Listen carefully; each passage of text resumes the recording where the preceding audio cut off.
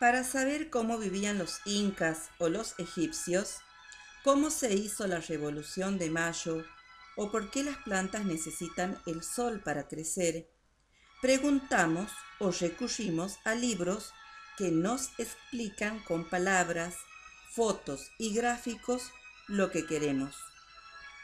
Esos textos no solo nos permiten aprender sobre temas que no conocemos, sino que nos dan la posibilidad de exponer ante otros lo que hemos aprendido.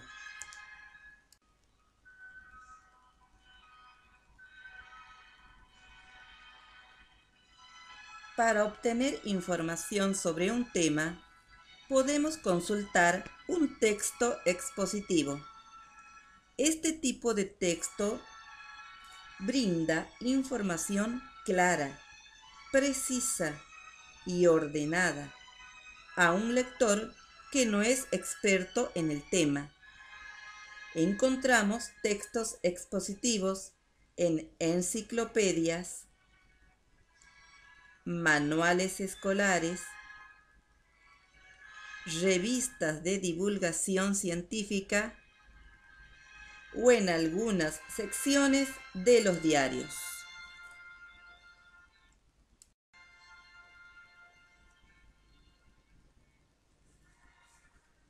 Los textos expositivos organizan la información en tres partes.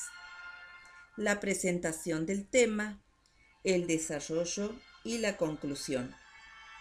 Para que la información sea clara, se emplean los siguientes recursos.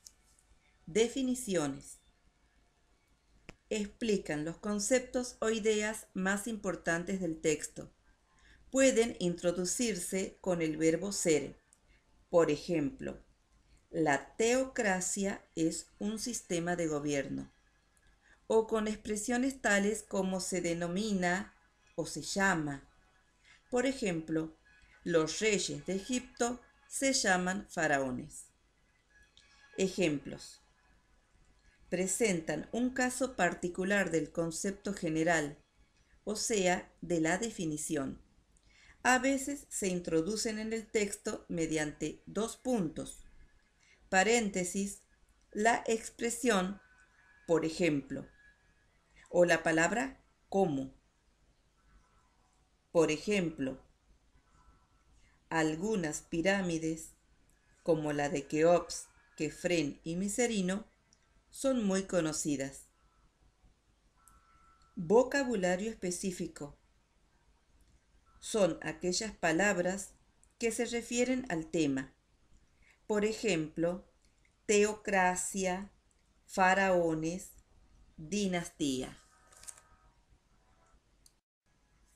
El texto expositivo ofrece información de manera clara y ordenada acerca de un tema, hecho u objeto. Las explicaciones frecuentemente dan definiciones y ejemplos y utilizan un vocabulario específico. Los paratextos. Alrededor del texto expositivo aparecen otros elementos que tienen la función de ayudar al lector a comprender mejor el tema. Los siguientes son algunos para textos. Título. Mapa. Subtítulo. Gráfico. Imagen. Epígrafe.